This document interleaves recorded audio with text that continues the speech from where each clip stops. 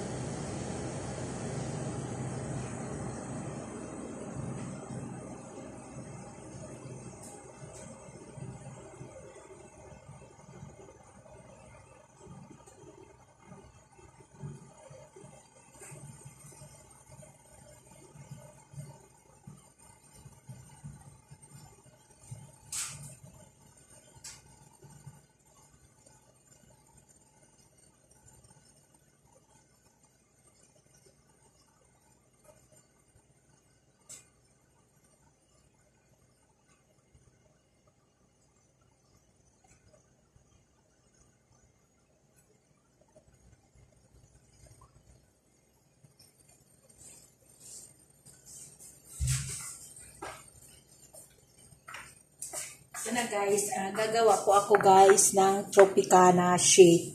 Ah, ang ilalagay ko lang po, ito lang pong ganitong yellow. Pakita ko lang kung ano pa. This one, this one, this one Tropicana Pearl. Ah, my homemade. Yesterday I make, yesterday night I make. Tapos, this one, this is the sauce of Tropicana. Mm. Ah, I mix, ah, ano, I separate the water from pearl. Ito yung pearl. Yan po siya. Yung pag ano ko, yung pagluto ko po siya guys, ay hinugasan ko muna siya ng dalawang beses bago ko siya pinakuluan. So ito na po yung result. Kaya po pala, gusto-gusto ng mga anak ko yung Tropicana. Kasi hindi pa ako nakatikim ng ganito sa Pilipinas guys eh. So ang ginawa ko, nung pumunta ko ng Malia, nakita ko siya yung Tropicana Pearl. Kasi parang mabili to sa Pilipinas. So sabi ko mag-try akong mag-homemade na ganito. Kasi ang ginagawa ko sa Pilipinas, bumibili na lang ako ng yaring sago. Eh, yung, hinahanap ko talaga yung sago. Kasi gagawa nga ako matamis na sago. Yung, yung nakita ko lang doon ay Tropicana Pearl. So, nag-try po ako. Masarap po siya guys. Kaya ipapakita ko sa inyo kung paano po magtimpla ng Tropicana Pearl. Ang unahin ko po, guys, yung sauce. Itong sauce, guys, napakasarap niya. Sti sticky siya, guys. Kaya pala mabili sa Pilipinas yung juice. Kaya pag nandun ako, gagawin ko yung mga anak ko. Maano siya, guys, ano, sticky water from the pearl. Ang akala ko, ano, talagang doon siya, guys. Ito yung katas ng pearl. Pag nung pinakuluan ko siya, tapos ginawa ko, siniperate ko siya. Buhos ko na lang kasi yung panandok kasi namin, ano, wala eh. Yung bowl ng panandok. So, masarap siya guys, nakaka-addict. Kasi natikman ko na siya kagabi pa eh. So, ito, ito siya guys. Ni, nilagyan ko siya ng, yung, di ba gumawa ako ng ano, pinipig sweet pinipig, di ba? Pinipig with milk. Ito yun, ni- ni- nilagyan ko siya para lalong masarap at saka malinamnam. Nilagyan ko na. Tapos, lalagay ko na po yung milk. Ah, masarap siya guys. Nakakaano talaga siya adik. Tapos yellow. Masarap siya guys. Ah, maliit lang kasi yung baso ko eh. Tapos lalagyan mo siya ng tropicana. This is too much easy guys. Gumawa na lang kayo, wag na lang kayong bumili sa labas. Mahal ang isang order nito. I think 100 plus yung nagtitinda yung artista. May artista nagtitindang ganito eh. 100 plus. Kapiranggot lang na baso. Di mas maganda gumawa na lang po kayo ng homemade. Kayo na lang po ang gagawa sa sarili mo. Madali lang po guys. Pakuluan mo lang naman yung pearl na yan eh. Mm. Yung ganito guys. Mag, magsawa pa kayo. Isang pack po to guys ang binili ko. I think 400 gram. Binili ko sa Malia. Hilaw. Isang pack na pearl. Dali ko, kukunin ko yung lagayan guys para makita.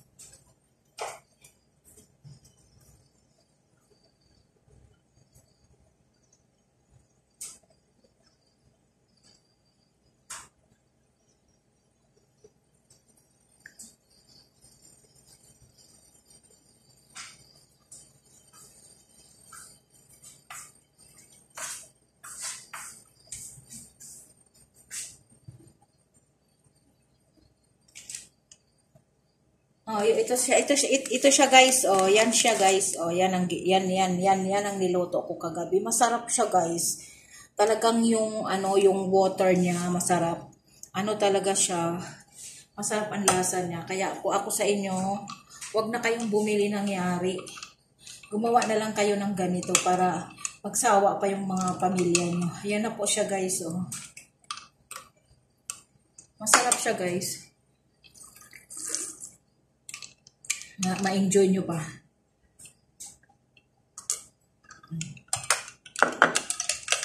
Mm, ayun po siya guys. Oh. Magsasawa ako, ako ng kain nito. Sayang na lang wala yung mga anak ko eh. Kaya pag uwi ko sa Pilipinas guys, gagawaan ko yung mga anak ko ng ganito. Kaya mahilig ko sa mga ganito-ganito. So, bibili na lang ako, tapos lulutuan ko na lang. So, hindi na sila bibili sa labas ng shake-shake na yan. Mas maganda yung tayo ang sa sariling gagawa. Gawa talaga ng nanay is the best. Totoo yung kasabihan nila, best talaga pag ang nanay ang gagawa. That's true. Walang kapantay ang nanay sa pagluluto. The best talaga ang mga nanay or mga tatay na magagaling magluto. Kaya ito na po guys, ang aking shake Tropicana o Tropica Pearl. Ito na po siya guys. Oh. Nakita nyo guys. Oh. Kaya sana magustuhan nyo guys ang aking sharing video. Ma madali lang siya gumawa guys. Habang niluluto ko siya, nilagyan ko po siya ng yung yung minatamis kong pinipig, yun ang nilagay ko dito. Kaya kaya tinamo kaya para siyang kulay red. Yung doon naman sa Tropicana pag bumili ka, ginilagay naman nila arnibal, arnibal naman na may vanilya ang hinahalo nila doon. Kaya akala mo yung Tropicana pearl nila mabango. Vanilya lang po yung nilagay nila. Tapos red sugar hindi na nila nilagyan ng milk habang niluluto. Sa akin kasi kaya medyo maputi yan. Ilagyan ko siya ng liquid milk habang niluluto. Kaya nagtaka kayo medyo may white-white. Nilagyan ko po siya ng ganitong milk. Tapos it, ito na po ang aking Tropicana shake. Magsawa po kayo sa sago. Uh, ayan na po siya guys. Uh, love it. At saka masarap siya guys ha. Sticky. Para siyang may gaw-gaw. Gaganon siya kalapot. Pag mismong homemade kayo gagawa. Doon naman sa bilihan ninyo, yung sa, nilagay nila sa baso, nilagyan nila ng itong sauce na ganito, ang nilagay nila, tapos nilagyan nila ng milk, yung ibap na milk, tapos nilagyan nila ng yelo, nilagyan nila ng sago, pinaghiwalay nila yung sabaw at saga, sago. Kaya yun din ang ginawa ko pinaghiwalay nila yung sago at saka ano, sabaw. Ang ano lang sa akin, habang niluluto ko siya, nilalagyan ko siya ng uh, yung, yung pinipig na may milk. Pinagsa, pinagsama ko sa bago pinaghiwalay ko sila. Yung doon naman sa bilihan, pinagsama nila pero hindi nilagyan yung pearl ng asukal gumawa na lang sila ng arnibal. Kaya akala nyo ano, arnibal with vanilla. Kasi vanilla yung nakakasarap guys eh. Sa akin naman, masarap naman to malinam gum kasi may milk with pinipig. Inaluan ko siya ng milk with pinipig. Kaya masarap siya. Kaya ganyan siyang kulay. Pero masarap yan. Sticky yan. Tapos ito na po yung homemade ko na aking pearl shape pearl. Mm, natunaw na yung yellow. Inumin ko na siya guys. Ang sarap niya guys. Hindi ako nagsawa. Marami nga akong ginawa guys. Is, yung isang ganito guys, inubos ko, niluto ko siya kaya ang dami. One to sawa.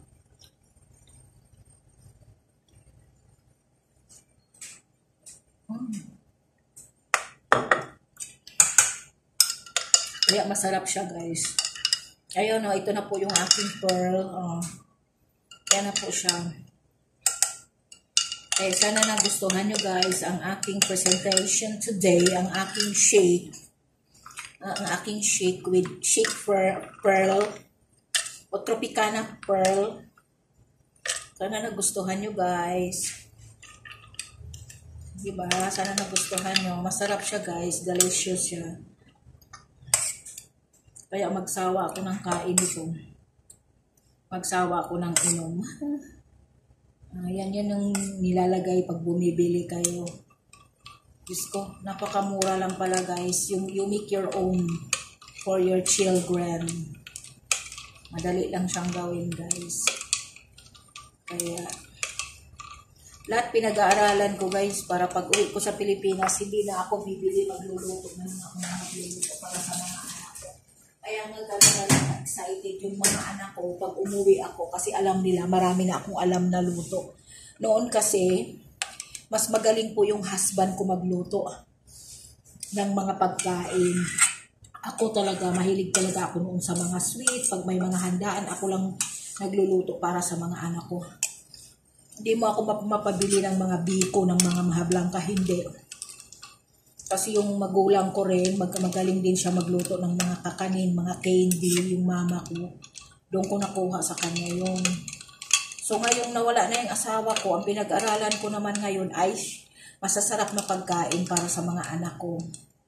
Para pag may okasyon, ako na lang magluluto, hindi na kami bibili. Ganon.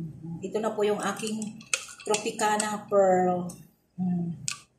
You love it. Sana magustuhan nyo guys. Diyos ko magsawa ako nito guys. Ako lang mag-isa ang iinom. Ayan na po siya guys oh. Ayan na po yung siya ko. Kaya ganun ang kulay kasi nil- hinalo ko siya doon. Habang niluto ko siya, nilagyan ko siya ng pinipig with milk. Kaya ganun ang kulay niya. Ta- Kaya sa sunod, pag gagawa ako, dapat hindi ko siya, hindi ko muna lagyan ng asukal, ibubukod ko sa sunod. Pag gagawa ako sa Pilipinas, ibubukod ko siya sa susunod pag gumawa ako. Masarap talaga siya, guys. Yung, yung sabaw ng Tropicana Pearl, masarap. Para siyang may gawgaw. Madulas-dulas. Kaya sana guys, nagustuhan nyo guys ang aking chic pearl. Diba? Sana nagustuhan nyo ang aking chic pearl.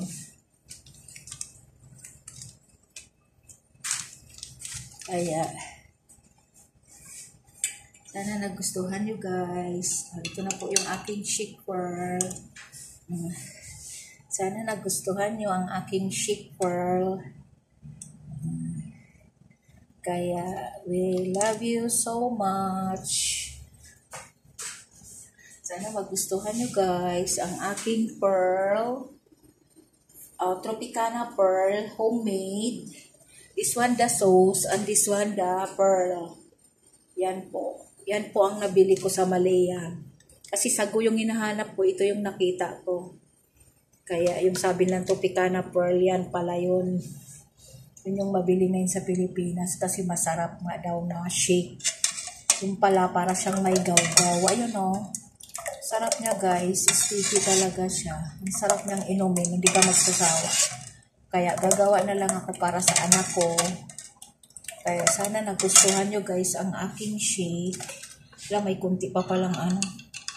May kunti pa pala akong milk. Sana nagustuhan nyo ang aking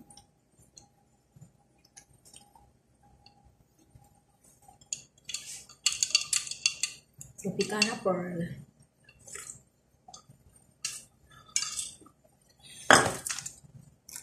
Ubusin ko na siya guys kasi sayang.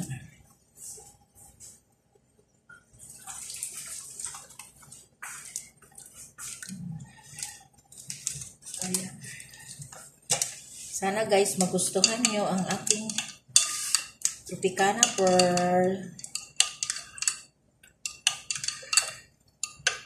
Sarap nyo guys.